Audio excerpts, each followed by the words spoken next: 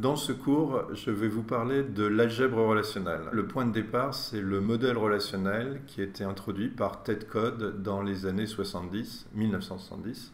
Donc ce important dans, ce modèle, c'est que les données sont euh, structurées sous forme de tableaux à deux dimensions. Alors il y a bien d'autres façons de structurer les données. On peut les structurer sous forme d'arbres, on peut les structurer sous forme de réseaux. Mais dans le modèle relationnel, c'est des tableaux à deux dimensions. C'est les tableaux que vous avez l'habitude de voir euh, quand vous vous interrogez des bases de données sur le cinéma, sur n'importe quoi.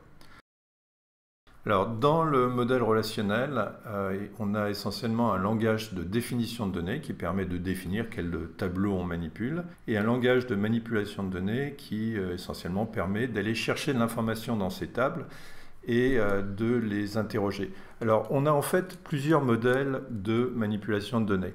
Donc, euh, on a plusieurs euh, langages, c'est ça qui est intéressant, pour aller chercher de l'information dans des tableaux. Alors, le, premier, euh, c'est le calcul relationnel. Alors, c'est d'une certaine façon, c'est un langage logique. C'est la base, c'est le calcul des prédicats du premier ordre. Et donc là, c'est une façon déclarative. On dit de façon mathématique ce qu'on voudrait avoir comme information. De absolument pas de manière de le, calculer. un autre langage, et c'est tout ce cours va, être, euh, va s'adresser à ce langage-là, c'est l'algèbre relationnelle qui dit comment on va chercher cette information, comment on la calcule. Donc ça va être essentiellement une boîte à outils d'opérateurs et chacun de ces opérateurs, on aura des algorithmes qui, pourra les, qui pourront les, les calculer. Dans la réalité, en fait, on utilise un langage qui est euh, SQL, euh, qui est un langage standard, qui est devenu standard pour interroger euh, ces bases de données, et donc qui est le langage que les systèmes utilisent pour s'interroger entre eux, pour aller chercher l'information entre eux. Alors voilà un exemple de base de données relationnelle, en fait un exemple de relation. Une base de données, c'est un ensemble de relations de, ce genre-là. Donc vous auriez des relations sur des films, vous pourrez avoir d'autres relations pour dire où ces films, dans quelle salle ces films passent, des relations pour dire quelle est l'adresse de ces salles, etc. Donc euh, un peu de terminologie relationnelle, euh, les lignes de euh, ces relations, on appelle ça des nuplés. Et les colonnes, on appelle ça des attributs. Donc vous voyez, on a donné des noms à ces attributs. Euh, des euh, titres, directeurs, acteurs, et puis vous avez tout un ensemble de NUPLay. Donc une relation, c'est essentiellement un tableau à deux dimensions consistant à des ensembles de NUPLay. La question, c'est comment aller chercher de l'information là-dedans et d'abord comment exprimer des requêtes pour aller euh, chercher des informations dans, ces choses-là. Donc pour expliquer les différentes opérations de l'algèbre relationnelle, pour expliquer la boîte à outils dont on dispose, euh, je vais prendre cet exemple très simple de petites relations, de, de petits euh, tableaux à deux dimensions. Dans cette boîte à outils, on a d'abord des, des opérations unaires, c'est-à-dire des opérations qui ne s'adressent qu'à une relation à la fois. Donc, qu'est-ce qu'on peut faire avec une relation Prenons la relation R. Qu'est-ce qu'on peut faire comme opération dessus bah, La chose la plus simple peut-être, c'est de euh, virer des colonnes. Dire, bah, moi je ne m'intéresse pas à la deuxième colonne, je m'intéresse qu'à la première colonne. Euh, si vous voulez, très souvent, un utilisateur va voir qu'un petit nombre d'informations à votre base de données fait peut-être euh, plusieurs téraoctets. Vous voulez voir comme résultat 2, 3, 4, une dizaine de valeurs. Donc, première chose, on vire une colonne. Deuxième chose qu'on peut vouloir faire, c'est virer des lignes. Donc par exemple, on va dire, moi ce qui m'intéresse, c'est A égale 1. D'accord? Donc euh, si je fais A égale 1, bah, je vais virer toutes les lignes euh, qui ne, donnent pas A égale 1. Alors là, j'ai un, petit problème, si vous voulez, c'est que je veux avoir plusieurs fois la même réponse. Euh, et ce n'est pas une réponse très intéressante parce que A égale 1, je ne fais pas grand-chose avec. Donc on va effacer tout ça. Donc euh, on va toujours garder A égale 1, mais on va repartir un peu en arrière avant d'avoir fait la projection. Donc euh, euh, si on fait une sélection à égale 1, bah, vous voyez bien qu'on a viré un certain nombre de lignes. Et là, les, lignes résultantes sont les lignes intéressantes. Bon, ça c'est la première chose à faire. Il y a des choses aussi un peu mondaines qu'on peut faire qui n'ont pas beaucoup d'intérêt. C'est dire finalement, je n'ai pas envie d'appeler cette colonne A, mais je vais l'appeler C. J'ai pas envie d'appeler cette, pardon, cette colonne B, je vais l'appeler C. Et cette colonne A, je vais l'appeler B. Euh, donc maintenant, j'ai une relation sur BC qui contient euh, ces nuplés là. Voilà, ça c'était pour les opérations unaires, hein, je vous répète, la projection qui permet de euh, virer un certain nombre de colonnes, la euh, sélection qui permet de virer un certain nombre de lignes en, gardant toutes celles qui ont une valeur particulière sur une colonne ou qui ont deux colonnes égales, et euh, le renommage qui permet de renommer les colonnes. Bien, alors maintenant on va passer à d'autres opérations qui sont assez intéressantes, c'est les opérations binaires.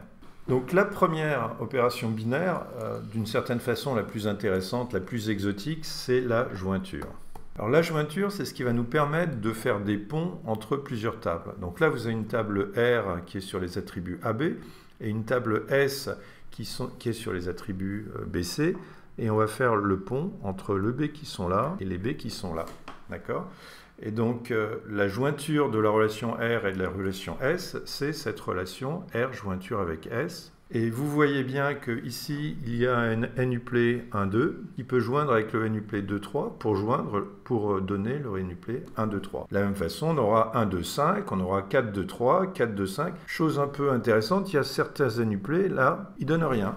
C'est-à-dire qu'ils n'ont pas de jointure avec l'autre table et l'information est perdue. Donc, ça nous permet de faire des ponts en éventuellement perdant certaines opérations, certaines informations. Alors, on, arrive presque au bout de notre voyage. Euh, on va rajouter deux opérations euh, binaires qui sont l'union et la différence. Ces deux opérations partent du principe que ce qu'on utilise, c'est qu'une relation, c'est un ensemble de NUP. Alors quand on dit ensemble, on, pense tout de suite aux opérations ensemblistes qu'on a apprises quand on était petit. Euh, on peut prendre deux ensembles et faire l'union, on peut prendre deux ensembles et faire l'intersection, faire la différence. Alors dans l'algèbre relationnelle, on fait très attention. On ne fait pas du tout des opérations ensemblistes sur des oranges et, des pommes. On veut des objets qui soient semblables. Alors là, si vous voulez prendre R et S et que vous voulez faire euh, l'union, ben vous ne pouvez pas, c'est juste interdit. Par contre, ce que vous pouvez faire, c'est renommer vos attributs, renommer B en A et C en B, auquel cas euh, vous avez deux relations sur les mêmes ensembles d'attributs, et on va donner un nouveau nom à cette relation pour ne pas se mélanger, et puis rien ne vous empêche de faire l'union de R et de S', qui va prendre tous les nuplés de S' et les rajouter au nuplé de R. Rien ne vous empêche de faire la différence entre R moins S'. Alors là, en l'occurrence, il n'y a aucun NUplay de, de, R qui est dans S', donc ça ne changera rien du tout, mais c'est une opération qui pourrait être pratique pour vous obtenir des choses comme euh, quels sont les films de Hitchcock dans lesquels euh, il n'a pas joué. Bien, alors évidemment, si vous avez bien suivi, vous allez vous dire, mais pourquoi on ne parle pas d'intersection? Pourquoi on ne fait pas l'intersection de R et de S' ben, on, le fait d'une certaine façon, c'est une opération que je vous ai déjà donnée, qui est la jointure. C'est la jointure de R et de S' qui vous donne essentiellement l'intersection de R et de S'. Maintenant que vous avez compris ce que c'est que l'algèbre relationnelle, je peux euh, essayer de vous expliquer euh, ce qui se passe vraiment quand vous faites une requête. Alors quand vous faites une requête, vous faites une requête typiquement en utilisant une interface graphique, mais ce qui va euh, arriver au système, c'est une requête en SQL. Donc cette requête en SQL, et il faut être précis, j'ai quand même caché un certain nombre de détails qui sont quand même importants, qui vont vous permettre de compter le nombre de films qui passent dans, un, cinéma, euh, qui va vous permettre de, classer vos résultats. Bon, j'ai enlevé un certain nombre de détails, mais essentiellement l'algèbre relationnelle, c'est le cœur de tout ça. Et donc le cœur de votre système, ça va être premièrement une traduction de la requête SQL en requête de l'algèbre. Donc euh, la requête SQL qui représente l'information dont vous avez envie est traduite en une requête algébrique. On pourrait s'arrêter là puisque comme je vous l'ai dit, chacune de ces opérations de l'algèbre relationnelle correspond à, des programmes qui permettent de calculer ce qu'elle fait. Donc des algorithmes qu'on peut euh, implémenter. Et donc on pourrait s'arrêter là. Euh, c'est euh, d'une certaine façon ce qu'on a fait au tout début et on s'est aperçu que ces systèmes étaient relativement inutilisables parce qu'ils étaient trop loin. Il y a une autre étape qui est importante, c'est l'étape d'optimisation qui va traduire votre requête algébrique en un plan d'exécution et donc euh, là, ce qui est important de, bien réaliser, c'est que cette étape d'optimisation est indispensable. C'est-à-dire que si vous prenez une requête euh, SQL et que vous la traduisez de façon euh, bestiale en requête algébrique, vous allez peut-être avoir une requête qui va prendre euh, une demi-heure, un jour, plusieurs jours sur une base de données de plusieurs téraoctets. Par contre, avec l'optimisation, on va s'apercevoir que ben, peut-être qu'on peut utiliser un index et qu'on va passer de plusieurs heures de calcul à quelques secondes. Et vous comprendrez que c'est quand même une, grande différence. Donc c'est cette optimisation qui est d'une certaine façon un petit peu de la cuisine. Hein. Il n'y a pas de grande théorie de l'optimisation comme il y a des, très beaux résultats sur le, calcul relationnel ou sur l'algèbre relationnelle. Cette euh, optimisation est quelque chose, est une phase absolument indispensable. Donc on peut montrer que la complexité de l'algèbre relationnelle, c'est en temps polynomial.